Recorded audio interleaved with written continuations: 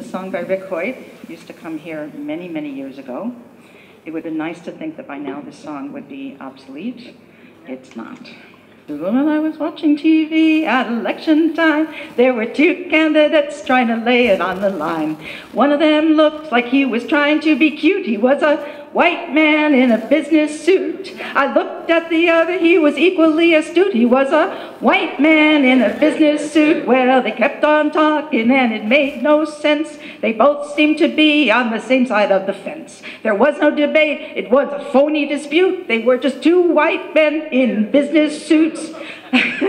to be a politician, you just have to salute and be a white man in a business suit. He is a white man in a business suit. Every single one of them is in cahoots. He runs the USA, he's running Russia too. He's a white man in a business suit. Well, I went down to the stream to take a little drink. It was dark and dead, and it sure did.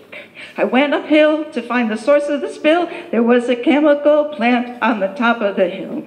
I asked for the owner of this place of ill repute. He was a white man in a business suit. He is a white man in a business suit. The profits are his, it's our world he pollutes. He'll never pay the price. He's got a, a, golden parachute. He is a white man in a business suit. Well, I got sued by a lawyer who was after my loot. He was a white man I got fired by my boss because I wouldn't lick his boots or something else.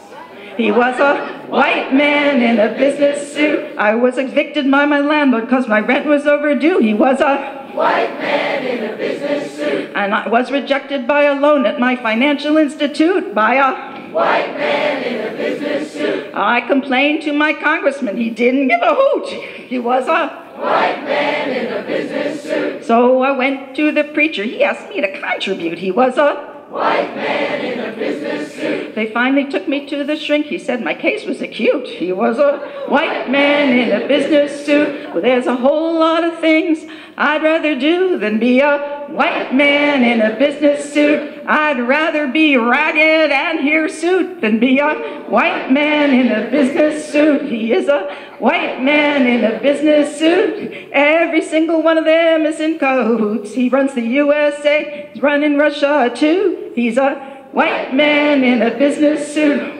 Take a breath. Well, now, it ain't pretty. It ain't warm, and that business suit's just another uniform. It's a symbol of privilege and abuse. That's why they wear that business suit. Sorry.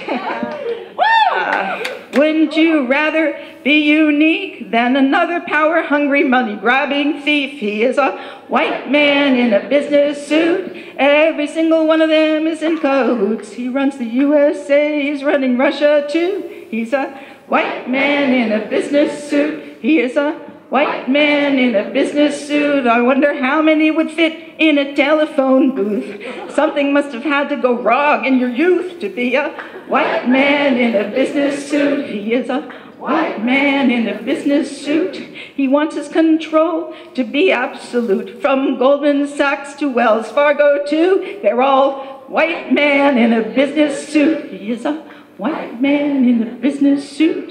Every single one of them is in cahoots. He runs the USA, running Russia too. He's a white man in a business suit. Rick Hoyt.